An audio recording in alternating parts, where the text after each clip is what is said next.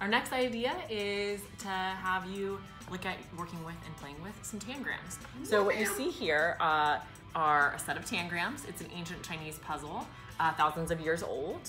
Uh, you can buy these on Amazon, but I will also show you how to make them. And once you have them, what we do is create uh, visuals or uh, work against each other, so, so compete to create images uh, using all of these pieces without them overlapping. So we're um, gonna create some tangrams ourselves. All I need is a piece of paper and something to write with and some scissors. At first, what I need is a square piece of paper. I don't have that, so I'm gonna make a square by folding uh, at this corner along the edge. And once I've done that, I can cut off this piece to end up with a square. I'm gonna do that now. So any any piece of paper, you turn it into a square by folding it kind of to make a square. Yeah. And uh, I'm also gonna fold it the other diag on the other diagonal. So let me do that really quickly. It's nice if you're careful about lining up the points uh, and get nice clean corners, but it should still work pretty good without, without if you have little ones that have a hard time with that. So I'm gonna draw some lines of where I'll make cuts. I know I'm definitely gonna cut here across one diagonal all of the way. And once that's done, I'll cut here as well. Oh, but you didn't go all the way across. But I'm leaving this blank for now. Okay. Yeah. And so the next thing I want to do, I'm going to start working on the pieces that that are, uh, let's say, in this top half. I'm going to take the top corner and fold it into the center. This triangle will be a piece, so I'm going to put a line there now. And so you're saying parents should just do this with their kids, like the kids are making one, yeah, the parents are making one. They could definitely. All right. So there's another cut that'll be right here. All right. I'm gonna. Oops, I didn't do a very good job of that. That's all right. That's See, okay. That's, that's, the beauty of math. You don't Alrighty. have to be perfect. I'm gonna fold this corner in. So the piece before you do any cuts, do all of the markings. Mm -hmm. uh, the one that goes all the way across so far, I'm gonna fold both of these corners in. Ooh. So I'm gonna do that here, and I'm gonna do this one at the same time as well. So now we're done with, well, we're not done with folding actually. Uh, this helps me. Uh, I have now my medium-sized triangle. Those are my two larger ones. Uh, but this fold right here, when we cut, what it'll do is oh. make a square yeah. and a smaller triangle. -huh.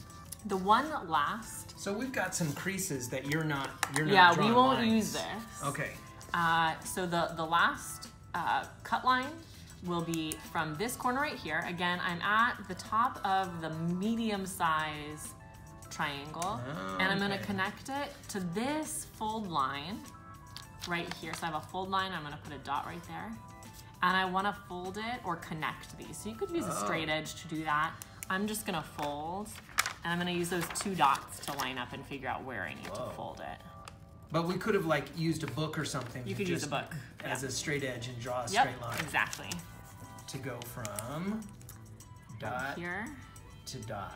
To here. Got it. And now your only job is to cut along all of these lines that we've drawn. So we have some creases that we're not gonna cut on, just yes, the lines. Exactly. You'll have two large triangles. You'll have one medium and two small triangles. You'll have a square and a parallelogram. Now, if you don't like the folds, once you've done this, you could use this and trace it onto something that's maybe a heavier uh, paper type, like cardstock if you have it, um, or even just another piece of paper so that it's it's not bent, but it shouldn't affect uh, the work that you do with the tangram puzzles. All right, so now get cutting. All right, so there is the like the official kind from like Amazon or something. And then here is the homemade version that cost us nothing but a single sheet of paper and a little bit of time.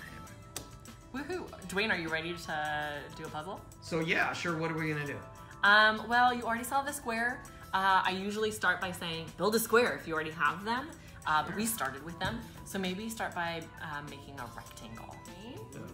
He's gonna and try I'm and supposed to do a rectangle. rectangle. Okay, I have no clue. Uh, so it's got to be pretty big because of these big triangles, and I have no idea. So I'm gonna start by just I don't know. I'm just gonna like literally just put stuff together. Oops, that's a small. I'm gonna see if I can do. Am I, I'm feeling good. I'm feeling good. Feeling good.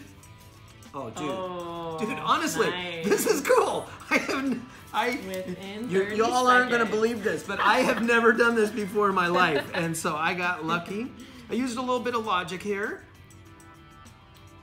So let's recap. You get a single piece of paper, you get some scissors, you got a little pen, and then fold. So you're gonna have to go back and rewind and pause and all that sort of stuff. But using just simple materials, you can make your own tangram. And then the idea is to use your pieces to uh, build shapes and, and make designs and have just loads of fun with your family. Tangram pieces I have as cards, but you can also uh, invent your own and Google images and find some that are already online for you. So go out have fun with your family doing some math.